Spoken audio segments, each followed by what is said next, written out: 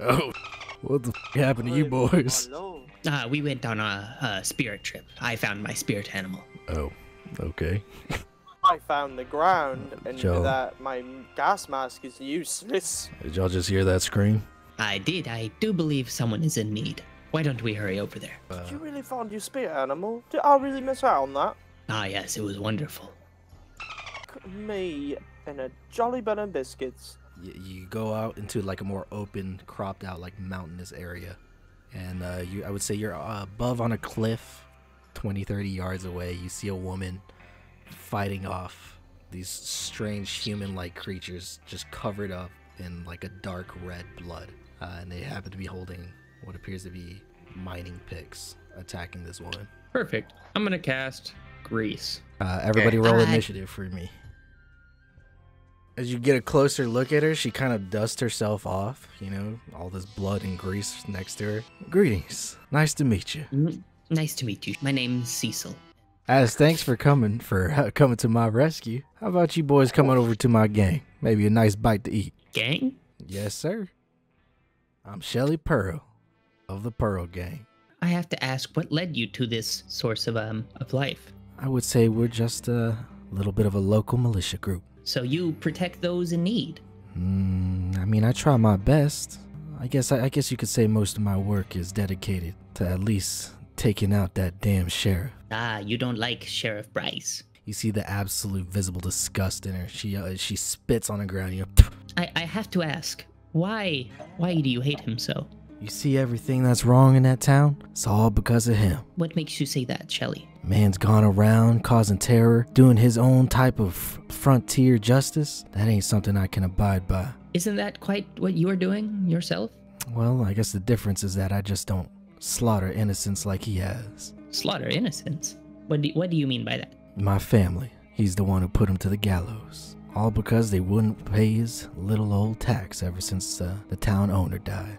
And then the mayor did not step in on this? Mayor's too damn busy getting drunk off his ass in the bar. As far as anyone's concerned, Sheriff Bryce is the one that controls everything there. You know, a lot of people around here don't want to follow a woman. So I greatly applaud you on on the strength it requires to do that. That may make a little bit more sense once you see the rest of everybody. And as you're as you're walking, you start to come up into this uh I guess hideaway in the mountains, you know, it's a little bit more of a plains field. You see a abandoned barn that's uh that seems like it's been patched up as best as it could. As you're walking up to the barn, you start to get a few glimpses of the individuals staying there. You may notice everybody there happens to be a woman. Ah, I I see what you meant. Can we make it a where I roll to see if I'm naked or not? All right, uh, just roll a d20, and if it's a if it's a ten or above, you keep your clothes. If it's below, then you don't. Yeah, that's wild. Ah, We don't have any spare clothes either. Right. You're about you're about to become Um, you might want to cover yourself. And she she throws she takes off her her poncho that she's wearing, and she throws it at you, Car- Crawley. thank you. You can keep it. Can I roll for dick size? Yeah, roll a roll a d12. Remember you have the opposite of advantage right now. Oh yeah, you do. You have disadvantage. oh my god, what a fucking schlonger! And as you realize, this is the very beginnings of where the stereotypes arisen, the origins of his people. As you go inside, you start to see a few more of the individuals, you know, all around the place, and you see women of all different types of ages, and a lot of them look a little wary as they see this group of men come into the building. Shelly seats all of you down at a table near the back, and she pours out a, a black, dusty bottle uh, that just says whiskey on it. Uh, come on, sit down. Ah, thank you very much. I I appreciate your hospitality. And Cecil throws it back. So what's with them with them creatures that was trying to eat you?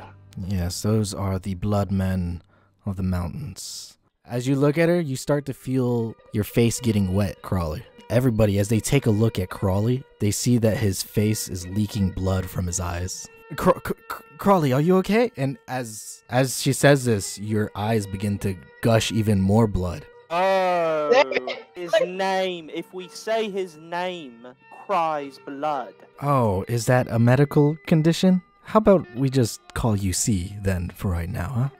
Yeah. Sea dog. Sea Dog? Yes, I like the name Sea Dog. Yeah, I think it's best that you maybe go outside, Mr. Uh, sea Dog. I just go outside and kick some trees. Shelly, we came here because we are hunting something. Because something is hunting us. There's something evil in this town, and we intend to find out what. Well, I can tell you what exactly what that is. That's that damn sheriff. If there's anything bad happening there, he's definitely got something to do with it. Now, what makes you so determined that the sheriff is behind all this? Trust me, I know. These Ellie, if things we- don't just attack recklessly. They seem We- to be given orders. we could clear out all of these fiends. Imagine how happy your girls would be. Imagine the lives they could live. I wouldn't mind helping you as long as we're taking down the sheriff, but if I go anywhere near town, well, that's a bullet straight through my head. What about your friend over here? Why is he so quiet? As she uh, nods over to Carlos. Please, Carlos, tell her the whole how your voice went back and forth. Well, you have to understand that I was really, really, really hungry. And I was chasing a, a big, big wheel of cheese down a hill. And now I talk like this. Yeah, that'll do it. I had an uncle that passed away to something similar. Are any of these women here single? As you as you say this, you see her tense up all of a sudden. You mind repeating that? She's here sheltering these women. I don't think she needs. He's trust me. He's good natured. He's just a silly person. It comes off badly sometimes. She kind of waves it off. No, um, I was really hoping you could um properly equip us to combat this. I don't know if you noticed, but we're barely surviving over here. Our barn is barely even functioning. I guess somebody working with the sheriff could help us. Uh, another thing I could think of is maybe another group of people I know about hiding in the mountains. Could you maybe elaborate a little more on that? Well, you know how you called me a bandit?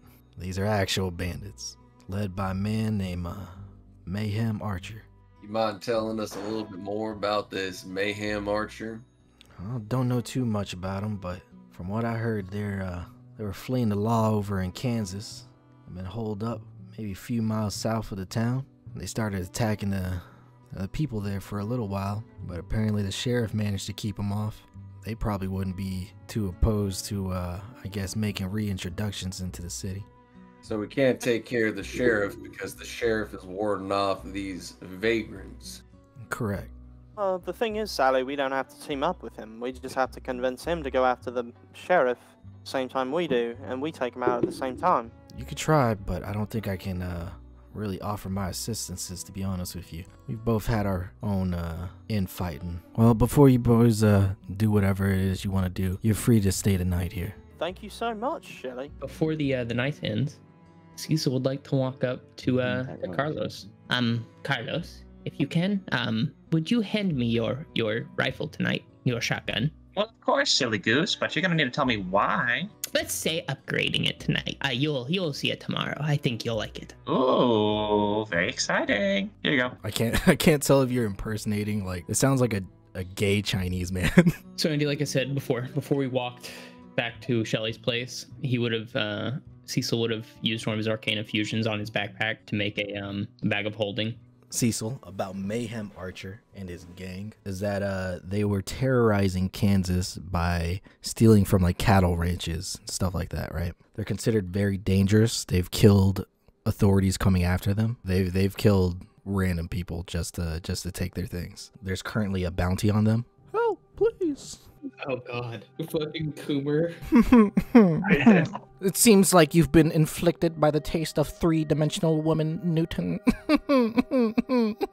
Sup, dudes? Kosal here. Sorry for how this video turned out. My recording muted my mic for the last hour of the session, but I didn't want the footage to go to waste. Anyways, all you need to know is that Shelly Pearl tells the gang about a suspicious church that sprouted up recently called the Brotherhood of the New Communion. That's definitely not the source of evil with a name like that. Trust me.